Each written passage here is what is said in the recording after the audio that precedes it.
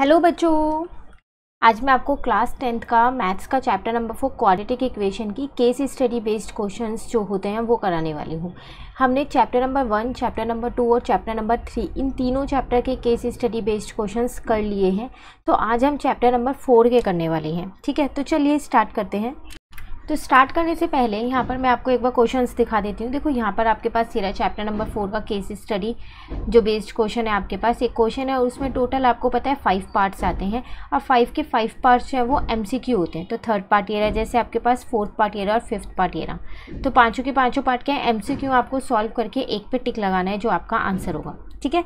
तो स्टार्ट करते हैं। अगर आप यहाँ पर देखो अपना फ़र्स्ट वाला स्टार्ट करने से पहले एक और चीज़ बताऊँगी कि हमने ये क्वेश्चन कौन सी बुक से लिया है, वो भी मैं आपको यहाँ पर बता देती हूँ।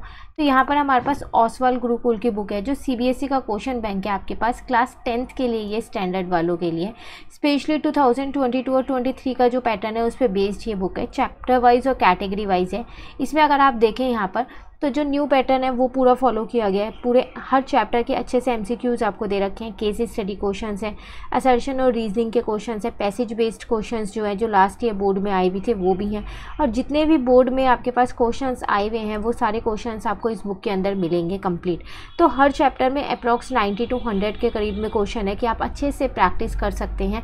अगर आपने एक चैप्टर को उससे कर लिया तो किसी और बुक से करने की ज़रूरत ही नहीं है। इस बुक में हर तरीके के क्वेश्चंस आपको मिल जाएँगे। जल्दी से मैं आपको एक बार इसका सिलेबस दिखा देती हूँ। सिलेबस जैसे आपको पता है, इस बार एनुअल एग्जामिनेशन है।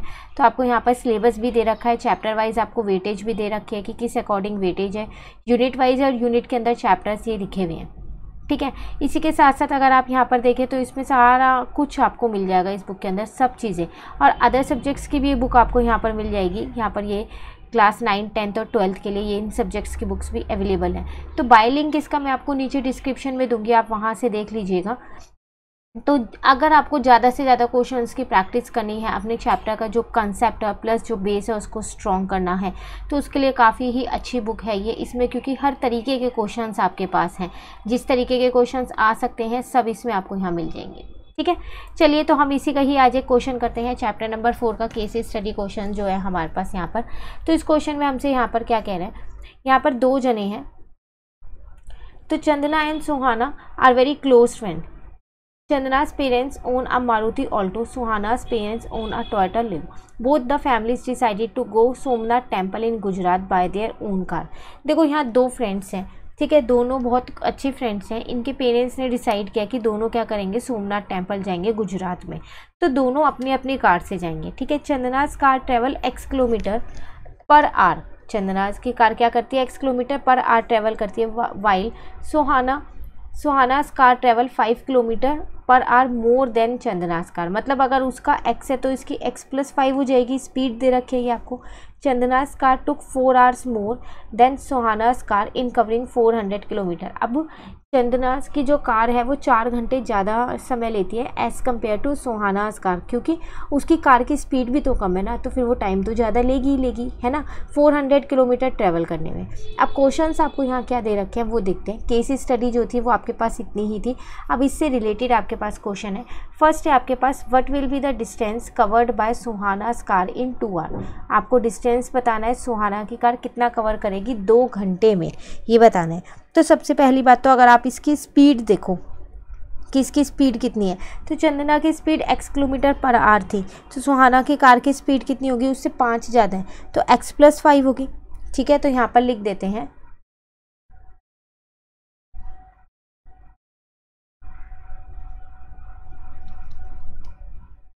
चंदनास कार स्पीड कितनी है? हमारे पास एक्स किलोमीटर पर आर है। ठीक है तो? सुहानास कार स्पीड कितनी हो जाएगी? X plus five kilometre per hour ठीक है, अब आपको यहाँ पर क्या बताना है? डिस्टेंस बताना है कि टू आवर्स में कितना ट्रैवल होगा। तो डिस्टेंस का फॉर्मूला क्या होता है? टाइम मल्टीप्लाई में स्पीड हो जाएगा। तो यहाँ पर टाइम है टू क्योंकि टू आवर की बात कर रहे हैं, और स्पीड है यहाँ एक्स प्लस फाइव तो आपका आंसर क्या आ जाएगा यहाँ पर two multiply X plus five kilometre. ठीक है तो अब आप देख लो ये आपके पास कौन सा ऑप्शन है। तो अगर आप देखो फ़र्स्ट वाला ऑप्शन आपको मिल रहा है तो इसका आंसर आपके पास हो गया है ए। क्लियर? सेकेंड क्वेश्चन है इसका आपके पास यहाँ पर। केस स्टडी हर में सेम है, सिर्फ़ क्वेश्चन चेंज है। अब सेकेंड क्वेश्चन है which of the following quadratic equation describe the speed of Chandana's car अब आपको यहाँ पर क्वाड्रेटिक इक्वेशन दे रखें, लेकिन आपको ये बताना है कि इनमें से कौन सी क्वाड्रेटिक इक्वेशन ऐसी है जो चंदनास कार की स्पीड को बता रहा है। ठीक है? तो अब हम इस क्वेश्चन को देखो, यहाँ पर करेंगे कैसे? अगर आप यहाँ पर देखो तो स्पीड थी उसकी एक्स किलोमीटर और डिस्टेंस आपके पास था फोर हंड्रेड तो हम सुहाना और इसकी दोनों को यूज़ करके क्वाड्रेटिक इक्वेशन बना के देख लेते हैं। ठीक है ना? तो देखो डिस्टेंस अपॉन में स्पीड ये किसकी है? चंदना की, और यहाँ पर है डिस्टेंस अपॉन में स्पीड यहाँ पर था, ये आपके पास इसका है सोहाना का, क्योंकि उसकी स्पीड एक्स प्लस फाइव थी। अब वो चार घंटे ज़्यादा ले रहा था, है ना? ये ये चार घंटे ज़्यादा ले रहा था ना तो इक्वल करने के लिए मैंने इसमें प्लस का फोर कर दिया।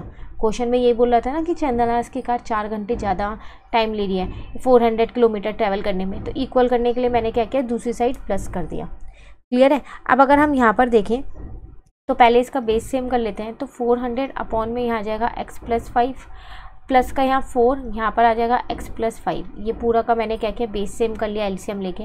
यहाँ आ जाएगा फोर हंड्रेड अपॉन में एक्स क्रॉस मल्टीप्लाई करते हैं, फोर हंड्रेड, यहाँ आ जाएगा एक्स प्लस का फाइव, ठीक है? और यहाँ पर आ जाएगा एक्स और अंदर ही आपके पास फोर हंड्रेड प्लस का, इसको अंदर इंटू कर दूँ मैं, फोर एक्स प्लस का फोर फाइव या ट्वेंटी है। तो ये आ जाएगा आपके पास फोर हंड्रेड एक्स प्लस इन दोनों को मल्टीप्लाई करेंगे तो फोर फाइव जो ट्वेंटी और दो ज़ीरो ऐसी है। यहाँ पर x से अंदर इंटू कर देंगे तो फोर हंड्रेड एक्स आ जाएगा, प्लस का फोर एक्स स्क्वायर आ जाएगा, प्लस का क्या आ जाएगा यहाँ पर ट्वेंटी एक्स। तो ये तो आमने सामने से कट हो जाएँगे यहाँ पर, ठीक है? तो आपके पास बचेगा क्या? एक तो फोर एक्स स्क्वायर बचा, एक प्लस का ट्वेंटी एक्स बचा, अब माइनस का टू थाउज़ेंड बचा है। इजिकल टू में ज़ीरो। यहाँ से आप क्या करो? फोर को कॉमन ले लो। तो एक्स स्क्वायर प्लस का यहाँ पर आ जाएगा फाइव एक्स माइनस यहाँ आ जाएगा आपके पास फाइव हंड्रेड और ये फोर मैंने बाहर कॉमन ले लिया, ठीक है? तो एक्स स्क्वायर प्लस का फाइव एक्स माइनस का फाइव हंड्रेड फोर जो है दूसरी साइड जाएगा तो ज़ीरो बन जाएगा इजिकल टू ज़ीरो अब आप देख लो ये आपकी कौन सी इक्वेशन है फ़र्स्ट सेकेंड थर्ड फोर्थ में से। तो अगर आप देखें एक्स स्क्वायर सी वाला ऑप्शन मुझे यहाँ पर मिल रहा है। मिल रहा है ना? तो इसका आंसर आ जाएगा सी तो ये वो क्वाड्रेटिक इक्वेशन है जो चंद्रनाथ की कार की स्पीड को डिस्क्राइब कर रही है। क्लियर नेक्स्ट है आपके पास, इसी का ही क्वेश्चन नंबर थर्ड है आपके पास what is the speed of Chandana's car अब आपको स्पीड बतानी है अभी सिर्फ़ आपने क्या बताया था क्वाड्रेटिक इक्वेशन बताई थी। तो अगर आप उस क्वाड्रेटिक इक्वेशन को सॉल्व कर दोगे तो स्पीड निकल ही जाएगी आपकी। तो एक क्वाड्रेटिक इक्वेशन थी एक्स स्क्वायर प्लस का फाइव एक्स माइनस का था five hundred equal to zero तो ऐसा करते हैं मिडल टर्म स्प्लिट कर देते हैं। तो यहाँ पर एक्स स्क्वायर प्लस का ट्वेंटी फाइव एक्स माइनस का ट्वेंटी एक्स लेते हैं। क्यों? क्योंकि ट्वेंटी फाइव में से ट्वेंटी को माइनस करोगे तो फाइव भी आ जाएगा और twenty five into twenty five hundred भी हो जाएगा। इन दोनों का एक पेयर हो जाएगा, इन दोनों का एक पेयर हो जाएगा। यहाँ से एक्स कॉमन लिया तो यहाँ पर एक्स प्लस का ट्वेंटी फाइव बचेगा। यहाँ से ट्वेंटी कॉमन ले लो तो एक्स प्लस ट्वेंटी फाइव बचेगा। बाहर माइनस था, अंदर का साइन चेंज हो गया। तो x प्लस ट्वेंटी फाइव एक आ गया आपके पास और x माइनस का ट्वेंटी आपके पास एक आ गया। यहाँ से अगर आप देखो दोनों को एक एक बार ज़ीरो के इक्वल रख दो। एक बार x प्लस ट्वेंटी फाइव को ज़ीरो के बराबर रख दो। और एक बार x माइनस ट्वेंटी को ज़ीरो के बराबर रख दो। तो यहाँ से x की वैल्यू माइनस का ट्वेंटी फाइव आ जाएगी और यहाँ से x की वैल्यू कितनी आ जाएगी? ट्वेंटी आ जाएगी। लेकिन x जो था, वो क्या था? वो तो आपकी स्पीड थी ना, वो तो नेगेटिव नहीं हो सकती। तो ये आपके लिए नॉट पॉसिबल है। ठीक है? तो स्पीड ऑफ़ चंद्रास कार कितनी आ गई? यहाँ पर ट्वेंटी किलोमीटर पर आर तो यहाँ पर लिख दो आप।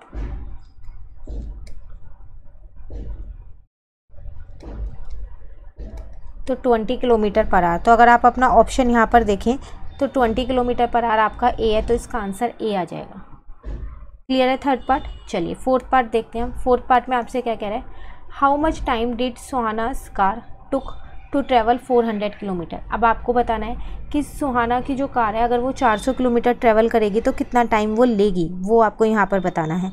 तो देखो, उसकी स्पीड अगर पहले मैं यहाँ पर निकाल लूँ, अब मैं स्पीड निकाल सकती हूँ, क्योंकि मैंने एक्स की वैल्यू निकाल ली। तो उसकी स्पीड थी एक्स प्लस का फाइव किलोमीटर पर आर तो ये हो जाएगा आपके पास ट्वेंटी प्लस का फाइव इज़ इक्वल्स टू में twenty five kilometre per hour ठीक है डिस्टेंस आपको यहाँ पर दे ही रखा है। वो आपको दे रखा है फोर हंड्रेड किलोमीटर तो आपको टाइम बताना है तो टाइम तो ईजिली निकल ही जाएगा। टाइम का फॉर्मूला क्या हो जाएगा? आपके पास डिस्टेंस अपॉन में स्पीड तो इसका मतलब 400 हंड्रेड अपॉन में 25 जब आप सॉल्व करोगे तो कितना आएगा? 16 आवर्स तो इसका आंसर आ गया डी क्लियर है क्वेश्चन फोर चलिए, एक और रह गया, फिर हमारी ये case study complete how much time did Chandana's car took to travel 400 kilometre अब चंदनास की कार का बताना है तो उसकी स्पीड तो आपको पता ही है। तो उसकी स्पीड थी आपके पास 20 किलोमीटर पर आर ठीक है? डिस्टेंस आपको क्वेश्चन में दे ही रखा है। 400 किलोमीटर है। तो अब आपको टाइम बताना है। तो टाइम कैसे निकलेगा? आपका डिस्टेंस अपॉन में स्पीड इसका मतलब फोर हंड्रेड अपॉन में 20 तो जब आप इसे सॉल्व करोगे तो 20 आएगा। तो कितना आ गया? 20 आवर्स क्लियर है? तो ये था आपके पास चैप्टर नंबर फोर का एक केस स्टडी बेस्ड क्वेश्चन जिसमें आपको सिर्फ़ एक मतलब आप ये कह सकते हो कि क्वाड्रेटिक इक्वेशन भी खुद ही बनानी थी, उसके बाद स्पीड टाइम डिस्टेंस इन सब का यूज़ करके जो क्वेश्चंस दे रखे थे उनका आंसर करना था।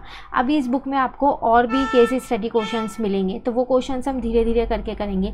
इतने आप ये वाला क्वेश्चन कर लीजिए इस चैप्टर का, कहीं पर भी डाउट हो कमेंट करके पूछ लीजिएगा।